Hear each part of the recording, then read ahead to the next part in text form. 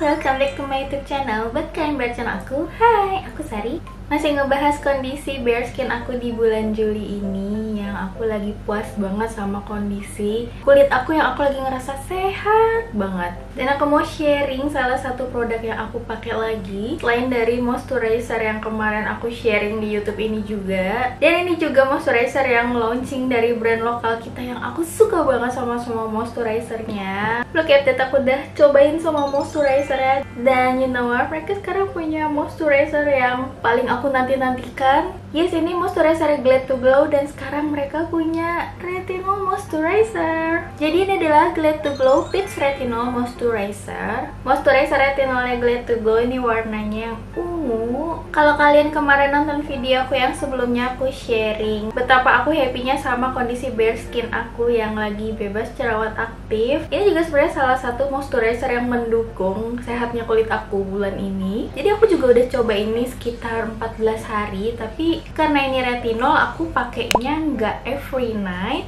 yang retinol ini aku pakainya 2 sampai 3 kali seminggu aja dan cuman di malam hari. Dan selebihnya kemarin aku selingin sama Glad to Glow yang Acne Moisturizer yang hijau ini. Dan aku happy banget bulan ini. Aku tuh ngerasa kayak kulit aku tuh sehat banget dan bebas dari jerawat aktif. Secara tekstur, secara kehalusan kulit, secara kecerahannya pun aku lagi puas banget sama kondisi kulit aku sekarang. Look aku kasih lihat progress bare skin aku beberapa minggu terakhir ini dari kulitku yang masih kelihatan ada jerawatnya. Jerawat aktif dari mau numbuh kemerahan. Kondisi kulitku kalau lagi berminyak banget tuh gampang banget tumbuh jerawat aktif dan happy banget progres kulitku bulan ini benar-benar membaik. Jerawat aktifnya udah mulai hilang bahkan sekarang aku lagi nggak ada jerawat aktif sama sekali. Kondisi kulit aku tuh sehat banget. Bekas jerawatnya tuh juga lebih mulus dan lebih rata gitu kulitnya. Tetap masih meninggalkan noda hitam tapi tuh kayak nggak terlalu parah gitu. Dan progres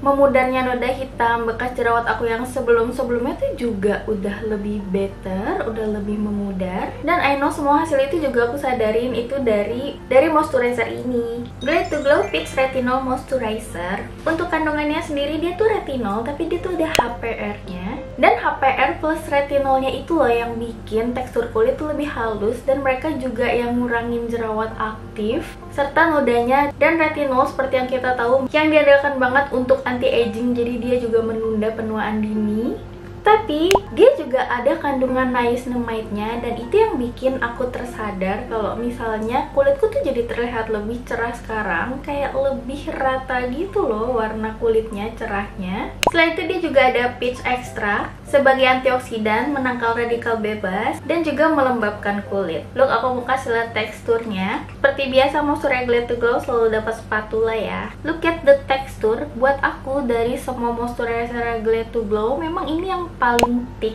yang paling cukup kental. Dia warnanya tuh putih tapi agak kekuningan gitu. Aku pakainya sekitar segini dan aku makainya nggak setiap malam ya. Aku makainya 2 sampai 3 kali aja dalam satu minggu. Walaupun teksturnya thick tapi dia buat aku masih nggak terlalu berat gitu dan nggak ninggalin feels yang berat. Jadi ini masih cukup ringan juga. Dia tuh lembab banget. Dan buat aku ini moisturizer Glad to Glow yang lembabnya lebih lama gitu ninggalnya di kulit.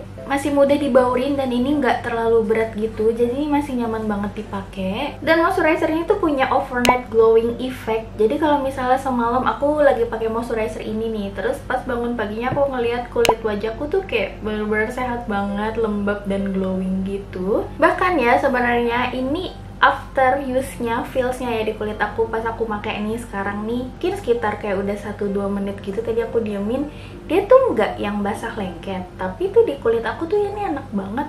Lembab tapi tuh kayak kenyalnya tuh kayak lebih kenceng gitu loh. I don't know why aku tuh ada ngerasa kayak gitu. Tapi bukan yang ketarik atau kering tapi bener-bener kayak kulitku tuh langsung kayak hmm kenyal yang sehat banget gitu dan looksnya pun juga kelihatannya tuh kayak glowing yang cantik dan sehat gitu. Sebenarnya ya dia tuh bisa lebih maksimal lagi hasilnya kalau misalnya dipaduin sama serumnya Glad to Glow yang Peach Retinol. Pakai serumnya dulu terus pakai moisturizernya. Tapi sebenarnya ya kemarin dua minggu ini aku tuh gak pakai si serumnya sih. Karena aku pengen bener-bener cobain kalau misalnya pakai si moisturizernya aja tuh ada hasilnya nggak sih? Dua mingguan ini aku tetap dapet efeknya sih. Progres kulit itu tetap kelihatan lebih sehatnya tetap kelihatan dan lebih cerahnya juga aku tetap dapat dan si retinol itu juga ngebantu aku buat meredam jerawat aktif. Terus kelihatan kulitnya tuh lebih sehat dan lebih glowing gitu loh. Aku kan udah umur 30 tahunan ya buat aku sih udah cukup terlambat untuk cobain produk retinol tapi aku tetap nggak nyerah aku tetap coba-coba terus. Dan moisturizernya sama serum Clarity Glow tuh salah satu produk retinol yang di kulit aku tuh cukup cocok dan cukup ada hasilnya aku bisa lihat. Sebenarnya ini bisa dipakai dari umur 17